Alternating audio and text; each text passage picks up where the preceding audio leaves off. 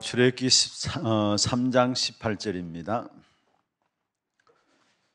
출애굽기 3장 18절 한 절 말씀입니다.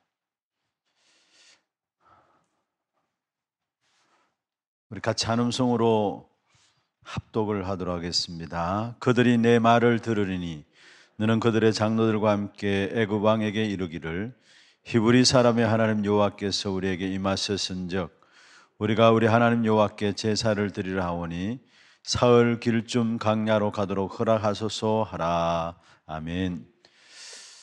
노예 시대 피제사와 나의 24입니다.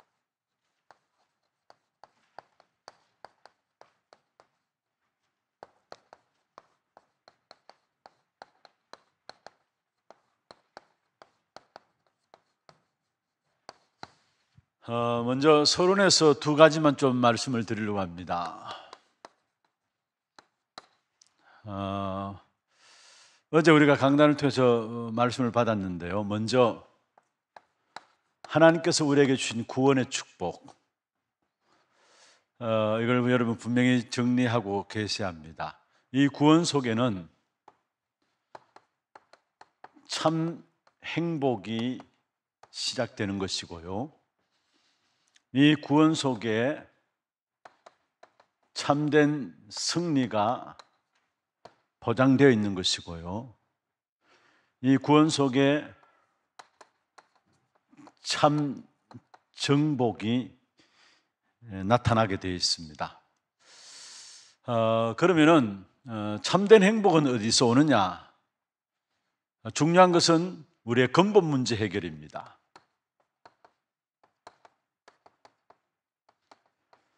눈에 보이지 않지만은 많은 사람들이 사실 이 근본 문제가 해결되지 못해서 자유가 없고 해방이 없어요. 어, 참된 행복은 우리의 인생이 갖고 있는 모든 인생의 인류의 숙제이기도 합니다만은 어, 세 가지에서 해방받는 겁니다. 바로 죄와 사단과 지옥 배경에서 해방받는 겁니다. 보이는 것에 이렇게 모든 움직이는 활동들은 보이지 않는 이 배경 속에서 나오는 거예요. 그래서 진짜 참된 행복은 어디서 나오느냐? 우리의 근본 문제 해결되는 것인데 이 근본 문제는 그리스도로 말미암아 해결되게 돼 있어요.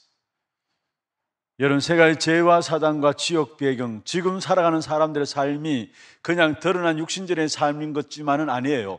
이 속에서의 배경 가운데서 드러나는 삶이에요. 그런데 이걸 모르니까 그냥 육신적인 것만 해결하려고 하는데요. 그렇다고 해서 해결되는 게 아니죠. 근본을 해결해야 됩니다. 그 근본을 해결하는 유일한 이름은 그리스도밖에 없어요. 그런데 그리스도 이 언약을 붙잡게 될 때 여기 오시는 따라오는 응답이 바로 하나님의 나라의 비밀과 함께 실제적으로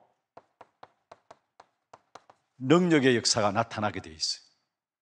그리스도 그 이름의 역사를 붙잡게 될, 언약 붙잡게 될 때 하나님의 나라의 비밀이 이루어지고 실제적인 능력이 나타나게 돼 있다. 그래서 여러분 여기에 대한 성경을 듣는다면 사도행 1장 1절 그리스도 여러분 지금 메시지 가운데서 그냥 단순히 그리스도를 이야기하는 것이 아니라 부활하신 그리스도를 이야기했어요.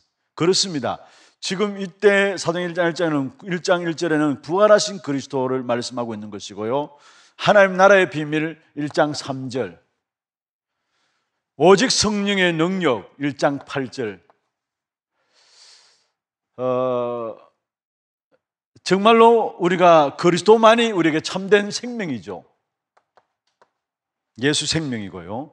진짜 근세는 어디서 나타나느냐? 하나님의 나라라는 이 말씀 속에는 하나님이 위에서 주시는 근세가 포함되어 있어요. 그래서 실제로 예수 그리스도 안에 있는 예수 근세에 대한 부분들이고요. 오직 성령의 능력에 임하시면 너희가 권능을 받고 예루살렘과 온 유대와 사마리 땅 끝까지 이내 증인이 되리라. 성령이 너에게 임하시면 권능을 받는다. 참된 예수 능력입니다. 그래서 예수 생명, 예수 권세, 예수 능력에 대한 부분들 이 사실을 가진 이 자체가 우리는 참 행복자입니다. 믿습니까? 정말로 우리의 근본 문제를 제대로 안다면은 우리가 여기서 그리스도로 말미암아 구원받았다 감사할 수밖에 없어요. 아, 진짜 다른 것에서 의해서 행복이 나오는 게 아니라 근본 문제 해결한 이 자체에서 참된 행복이 회복되게 되어 있어요. 그럼 참된 승리는 뭐냐? 참된 행복은 근본 문제 해결되면서 시작되어지고 참된 승리는 어디서 찾아 나오느냐? 실제적인 우리의 현실의 삶 속에서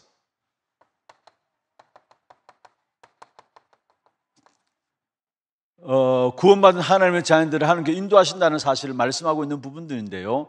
여기에 어제 성경 본문을 신명기 33장 26절에서 29절을 살펴보았는데 이 부분들 속에서 우리에게 구원받은 자에게 주신 참된 승리가 어떤 것인가를 설명을 좀 드리겠습니다. 먼저 첫 번째로 신명기 33장 26절에 보면은 이렇게 말씀하고 있습니다. 그가 너를 도우시려고 하늘을 하늘에 하늘을 날고 궁창에서 위험을 나타내시도다.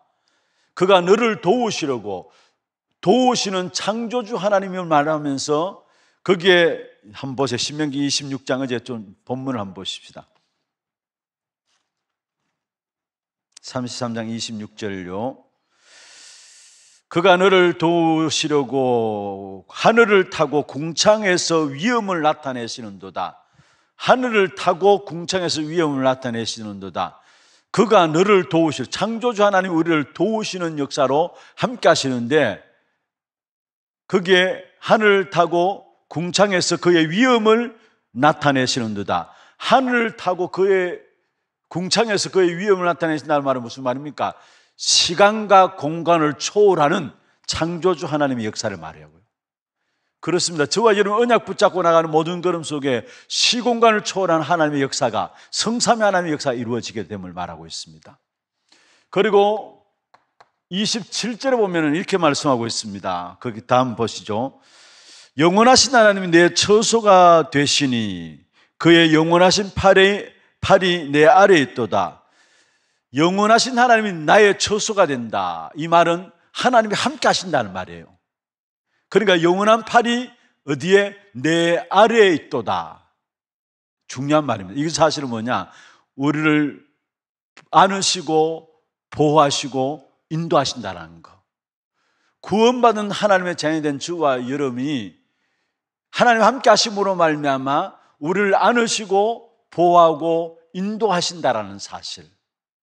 그게 영원하신 팔이 내 아래에 있도다 이 말입니다. 내 아래에 있도다. 하나님이 우리를 안으시고요 보호하시고 인도하시게 돼 있어요. 그래서 이 하나님의 보호하심과 인도하심과 안으심의 역사 속에 있는 자는 망할래야 절대 망할 수 없어요. 그래서 여러분 성경에 연결해서 같이 본다면은 요한복음 10장 28절 내 영생을 너에게 주노니 내 손에서 아무도 빼앗을 자가 없다라고 말씀했어요. 그리고 로마서 8장 38절 39절에 보면은 세상의 그 어떤 피조물을도 하나님의 그리스도 예수 안에 있는 하나님의 사랑에서 우리를 뭐요? 끊을 수 없다고 했어요. 하나님의 사랑에서 끊을 수 없다고 했어요. 완전한 승리를 우리에게 약속한 거예요, 사실은. 그러면서 그 다음에 27절 그 다음 마지막에 보면은 그가 내 앞에서 대적을 쫓으시며 마찬가지로 여기에 대적을 쫓으시며 우리가 예수를 그리스도로 믿기 전에는 원수 마귀가 모르고 있어서 그렇죠 아비입니다. 모든 불신자들의 아비가 누구냐? 원수 마귀예요. 불신자들 인정을 하지 않죠. 그러나 사실이에요. 그러나 우리가 그리스도를 영접하는 순간에 이미 저와 이뤄낸 원수 마귀가 아비가 아니라 뭡니까? 대적이 되어버린 거예요. 근데 거기 본문에 보면은 27절 마지막에 보면은 그가 네 앞에서 대적을 쫓으시고 멸하라 하시는도다. 대적을 쫓으시고 멸하라 하시는도다. 모든 악한 사단 마귀의 건세가 우리의 걸음 앞에 묶여지고 꺾여진다는 사실을 말씀하고 그게 참된 승리가 아닙니까? 그러면서 28절에 보면은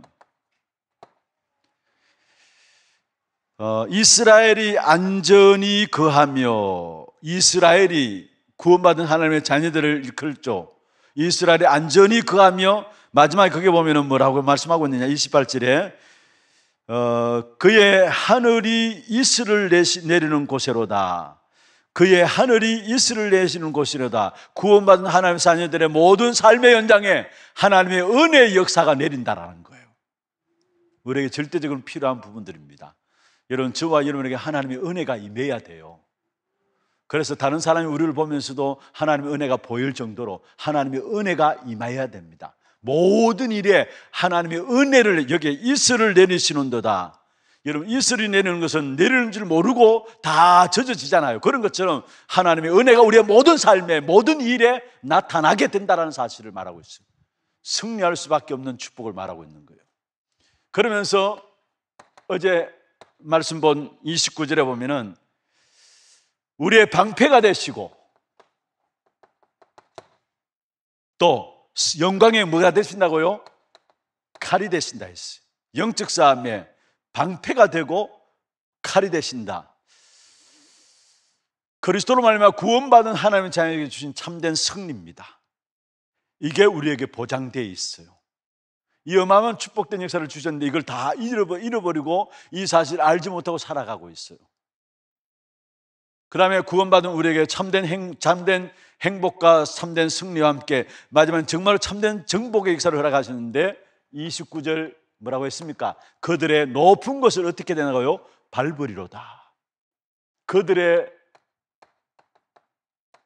높은 곳을 밟으리로다. 정복의 역사를 말하고 있어. 그래서 성공자들을 살리는 성공자, 엘리트들을 살리는 엘리트, 그들의 높은 곳을 밟는 여러분 정말로 참된 모든 일에 하나님이 함께 하시는 귀한 축복 가운데 다 살아나는 살리는 역사가 우리에게 있어질 것을 말씀하고 있어요. 그래서 저와 여러분은 참된 행복을 가진 복음으로 참된 행복을 가진 남은 자고요. 순례자의 길을 가는 길에 우리에게 여러 가지 어려움과 문제들이 있을 수 있습니다만은 그러나 우리에게 보장된 것은 참된 승리입니다. 그리고 결국은 우리는 뭐냐? 그것을 가지고 정복자의 자리에 서는 것입니다. 남은 자, 순례자, 정복자의 자리에 서서 하나님께서 우리가 이 땅에 살아가는 동안에 237 나라를 살릴 수 있도록 우리를 구원하시다라는 거. 이 구원의 축복을 날마다 찾아 누려야 돼요. 그래서 어제도 말씀드렸습니다마는 디모데전서 2장 4절에 하나님의 소원이 뭐냐? 모든 사람이 구원을 받으며 진리를 아는데 이르기를 원한다 했어요. 그게 하나님의 소원이에요. 여러분 구원받는 거예요. 그리고 누가 보면 19장 10절에 보면은 왜 예수님께서 예수님을 이 땅에 하나님 보내셨느냐? 예수님을 통해서 구원받게 하기 위해서. 그렇다면 구원 그 속에 모든 것 다 있어요. 여러분 우리가 너무 복잡한 생각은 아닙니다. 내가 구원받는 그 순간에 모든 것 다 이미 내 안에 모든 것 끝났고 모든 것 다 있어요. 그러면은 하나님의 소원은 그 구원의 축복을 누리고 그 축복의 역사들을 증가하는 이 일을 하나님이 원하시는 거예요. 이게 신앙생활이고요. 두 번째로 여러분 좀 생각하실 것은 있다면은 지난 토요 핵심 때에 말씀을 주셨는데 마찬가지로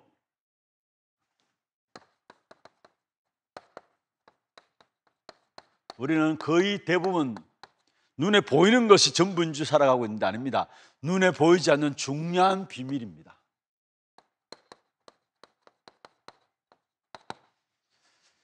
구원의 역사와 함께 하나님께서 구원받은 자에게 주신 축복된 비밀이 있습니다. 그게 뭡니까? 하나님의 나라의 일이 구원받은 자 통해서 이루어져요. 여러분 구원받은 자를 통해서 이루어지는 일이 있다면 구원받은 자가 모여서 기도하고 구원받은 자가 모여서 예배하는 시간 시간마다 그 시간에 일어나는 일들이 있다면 하나님의 나라의 일이 이루어져요. 우리가 세상 것 육신적인 것으로 보면 안 돼요. 여러분 아무리 부족하고 모자란 사람들이 모였다 할지라도 그 사람들이 정말 그리스도 이름으로 모여서 예배하고 기도하는 시간 시간마다 어떤 일들이 일어나느냐? 여러분 하나님의 나라의 일들이 일어나는 거예요. 그렇다면 우리가 이 자리에 모이는 이 시간이 얼마나 중요한 것인가를 아셔야 합니다. 우리는 그냥 월요일 날 건찰에 있어가지고 또 구역에 건찰의 메시지를 전달해야 되기 때문에 이 자리에 와서 메시지를 받고 그렇게 하면 중요한 응답들을 놓쳐버려요. 여러분 이 시간을 기억하면서 이 자리에 발걸음 옮겨서 오고 가는 걸음 속에 이 시간에 잠시라도 앉아서 말씀 듣는 시간에 여러분 안에 이 일이 이루어진다라는 거예요. 하나님의 나라의 일이 이루어져요. 구원받은 자 속에 그러면은 이 하나님 나라의 일이 이루어지는 이 축복 속에서 이미 우리가 말씀을 받았습니다. 하나님 나라 일이 우리 안에 이루어지기 때문에 내 자신이 여러분 몰라서 그렇죠. 플랫폼이 되어지는 겁니다. 사람들이 모여질 수밖에 없는 플랫폼이 되어지는 거예요. 그리고 실제로 많은 사람들을 지키고 보호하는 파수망대가 되어집니다. 그와 더불어 실제적으로 영적인 안테나 되어서 많은 사람들에게 이 메시지를 전달하는 많은 그래서 살리게 되는 영적인 안테나의 축복이 이루어지게 되어 있어요. 토요일 날 어, Remnant Day 때에 주신 메시지 핵심에서 준 메시지입니다. 하나님 나라 일이 이루어지는 여기에 실제로 이 사실들이 이루어지니까 정말로 내가 플랫폼이 되어지는 거예요. 그렇잖아요. 사람들이 모여지게 됩니다. 하나님 나라의 일, 비밀을 갖고 있는 사람에게 사람이 모이게 돼 있어요. 그리고 실제로 그 사람들을 지키고 보호할 수 있는 파수망이 되어지고요. 그 사람에게 영적인 메시지를 가지고 소통할 수 있는 영적인 안테나가 딱 되어지는 겁니다. 그러면서 이 축복 속에서 내 안에 이루어지는 것이 있다면 그게 뭡니까? 내 개인에게 주께서 주시는 참된 성삼위 하나님의 비밀이 내게 내 안에 이루어지게 되어 있고요. 성삼위 하나님의 비밀과 함께 보좌의 축복이 내게 임하게 되어 있고요. 삼시대의 축복이 내게 이거는 내게 이루어지게 되어 있어요. 여기에 이 성삼면의 비밀과 보좌의 축복과 삼시대 응답이 일어난 여기에 일어나는 일이 뭡니까? 실제적으로 여기에 일어나는 그 역사가 우리 개인에게 성령 축복만함에 함께 여기에 사단이 결박되어지고 하나님의 천사들이 동원되어지는 이런 역사들이 일어나게 되는 것입니다. 여러분, 하나님의 나라의 일 40일 동안에 예수님께서 감난산에서 제자들에게 집중해서 하신 일이 하나님의 나라의 일입니다. 이 어마어마한 축복된 배경들을 갖고 있는 겁니다. 여기에 실제로 이 사실에 대한 축복을 받게 되니까 결국은 현장에 나가면은 세상에 나가면은 이 응답들이 확인되어지는데 뭐를 통해서 확인되어지느냐? 문제를 당하면은 확인되어지고 갈등을 당하면은 확인되어지고 위기를 당하면은 이 부분들이 확인되어져요. 여러분, 우리는 이 부분들을 누리지 못하니까 문제 속에 빠지고요. 늘 여전히 신앙생활 하면서도 갈등 가운데 있고요. 우리 인생에 가다 보면 위기가, 삶의 위기가 있잖아요. 그 위기 속에 못 빠져나와요. 그런데 이 부분들이 딱 누려지면은 내가 현장에 가면은 문제 속에 답이 있는 것이 딱 보여져요. 갈등들이 있다. 실제로 갈등이 딱 오면은 그것 통해서 갱신하는 기회가 되어지고요. 위기가 딱 온다. 아, 이게 기회구나. 보여지게 돼 있어요. 이게 하나님 나라의 일에 대한 중요한 비밀을 드립니다. 눈에 보이지 않는 거예요. 구원받은 자에게 오늘 또 이루어지는 일이 있다면 하나님의 나라의 일이 이루어져요. 여러분 모이고 흩어지고 구역에서 모이고 흩어지고 그때 그때마다 같이 찬양하고 말씀을 나눌 때마다 여러분 아셔야 합니다. 하나님의 나라의 일이 지금 이 자리에 이루어지고 있다라는 거. 이걸 놓치지 말아야 합니다. 어, 이 부분들을 가지고 실제로 여러분 보면은 이스라엘 백성들이 지금 애굽에 노예되었다. 애굽 시대에 노예되었다. 그것은 세상적으로 보는 눈이에요. 이미 눈에 보이지 않게 노예되어 있었어요. 옛날부터 노예되어 있었던 것이고요. 그런 가운데 때가 되면 이스라엘 애굽의 노예가 된 거예요, 사실은. 그래서 실제로 이 노예 시대 피제사와 나의 24, 이 노예 시대가 애굽 시대가 아니라 여러분 아셔야 될 것은 오늘 본론에 들어갔어요. 이게 지금의 일이라는 것. 노예된 것은 지금의 일이라는 것. 이 사실을 모르니까 구원과 구원받는 자 이루어지는 하나님 나라의 일, 이 사실을 모르니까 지금 모든 사람이 사실은 노예로 살아가요. 아니, 이 어마어마한 축복을 그리스도 안에서 구원받는 자에게 주셨는데 이 영적인 비밀들을 눈에 보이지 않는 이 중요한 비밀들을 모르고 살아가니까 결국은 열심히 사는데 지금 애굽 시대에 이스라엘 백성이 노예된 것이 아니라 지금 모든 사람이 결국 애굽 시에 노예된 사람들처럼 그렇게 살아가고 있어요. 지금이라는 거예요, 지금. 포인트는 지금입니다. 어떻게 살아갑니까? 여러분, 창세기 3장과 6장과 11장 근본 문제 속에 여전히 빠져나오지 못하잖아요. 불신자들은 이것을 알지도 못하고요. 믿는 성도들조차도, 아니, 교회 다니는 사람들조차도 여기에서 못 빠져나와요. 이게 모든 불행의 시작인데, 여기서 못 빠져나와요. 아니, 신앙생활 하면서도 여전히 이 속에 있다니까요. 그리고 이 불행의 시작과 이 불행의 통로가 있는데 그게 바로 사도행전 13장, 16장, 19장 아닙니까? 이게 사단이 틈타는 불행의 통로입니다. 이걸 모르고 불신자들은 뭔가 우상 신전을 만들어 놓고요. 큰 신전을 만들어 놓고 그게 사람들이 모여들고요. 그거 가지고 영적 문제가 얼마나 엄청나게 일어나는 줄도 모르고 그게 빠져들고 있어요. 그러면서 결국은 멸망 상태 여섯 가지는 누구에게나 피할 수 없는 문제로 찾아오게 되어 있다는 것. 지금 노예되어 있는 현장입니다. 지금 노예되고 있는 현장이에요. 왜 이곳에서 빠져서 못 빠져나오느냐? 이 비밀을 모르기 때문에. 구원과 함께 구원받은 자에게 주어진 하나님의 나라의 일이 임하고 있는 것을 이루어지고 있는 것을 모르니까 현장 다 뺏겨버렸어요. 누구한테? 사단한테. 그래서 여러분이 오늘 중요한 것을 붙잡아야 합니다. 어, 본론에 들어가서 그 유인물의 본론에 보면요. 피언약이란 뭐냐? 한마디로 구원의 축복을 말해요. 피언약은 뭐냐? 실제로 그게 세 가지로 나오죠. 사단의 노예에서 해방시키는 것이다.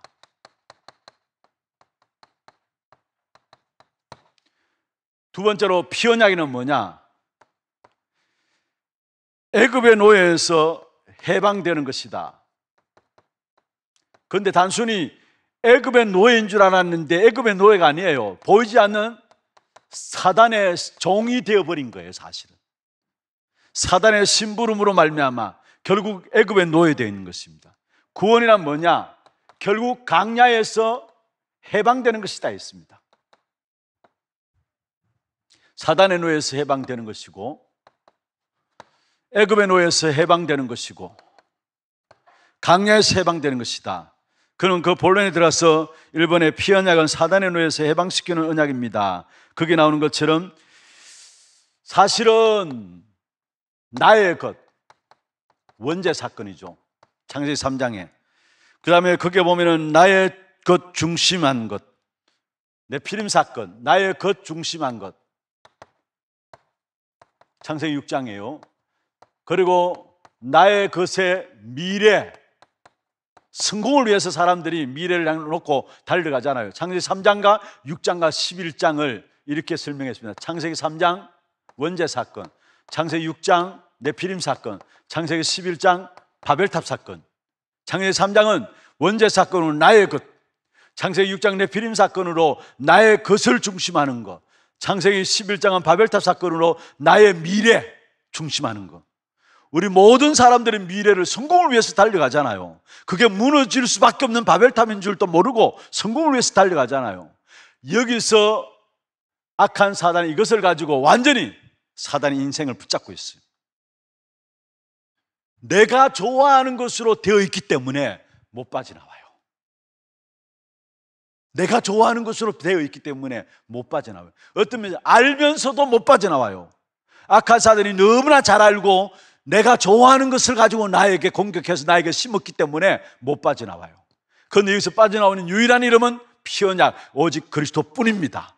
사단에 세방되는 것. 그 다음에 이스라엘 백성이 노예, 애굽의 노예되었다. 단순히 그 겉으로 보이게 애굽의 노예됐던 것이지, 그러나 결국은 사단의 종으로 말미암아 사단의 종됨으로 말미암아 결국에 애굽의 세상에 노예되었다라는 것. 여기서 세 가지를 말씀하고 있죠. 먼저 첫 번째는 어떤 면에서 이스라엘 백성에게 요셉을 알지 못하는 왕이 나타남으로 말미암아 사실은 노예가 되었습니다. 세상적으로. 그리고 유아 살해 정책으로 말미암아 위기를 당했습니다. 그러면서 여기에 실제적으로 많은 애굽의 우상 신전을 만드는 일에 여기에 하나님의 택한 백성 이스라엘 백성들이 심부름하고 있습니다. 지금 이게 세상의 모습이고 지금 이게 세상의 불신자들을 현장의 모습뿐만 아니라 믿는 성도들의 모습이기도 합니다. 열심히 돈 벌고 성공하는데 전부 다 세상 심부름하고 있어요. 사단 심부름하고 있어요. 한마디로 말하면. 여기서 완전히 빠져나오는 이름이 바로 피언약입니다. 그걸 단순히 구원받는다 그 정도 아니라 우리의 모든 삶의 부분들 속에서도 실제적으로 해방받는 것이 구원의 축복이에요. 그리고 강야에서 해방받는 것.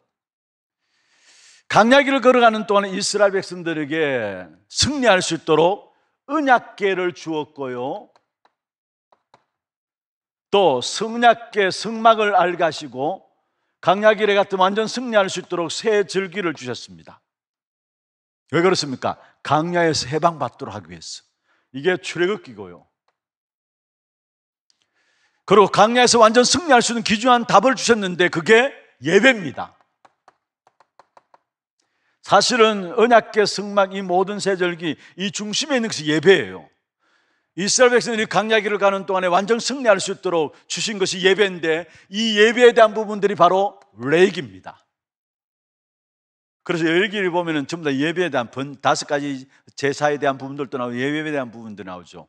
그러면서 하나님이 하나님 택한 백성들을 세우시는 중요한 축복을 놓고 세워서 세워, 세워져 나가시는데 거기에 대한 기록이 바로 민숙입니다. 그래서 민숙이는 백성들의 숫자를 세웠다 해서 민숙입니다. 하나님이 세워져 나가시는 백성들입니다. 그게 민숙이고요. 신명기서는 아예 우리의 모든 각인과 뿌리와 체질들을 바꾸라는 것입니다. 애굽에서의 각인들, 강력기를 걸어가면서 있었던 체질들, 그 뿌리들, 그것 때문에 결국 체질이 되어서 망할 수밖에 없는데 그것을 바꾸라는 것. 그게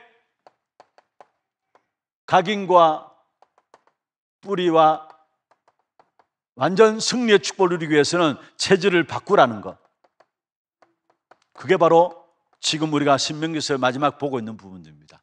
그리고 신명기서는 어제도 말씀드렸습니다만은 모세가 모압 강야에서 가나안 땅을 바라보면서 세 번에 걸쳐서 설교를 한 중요한 내용들입니다.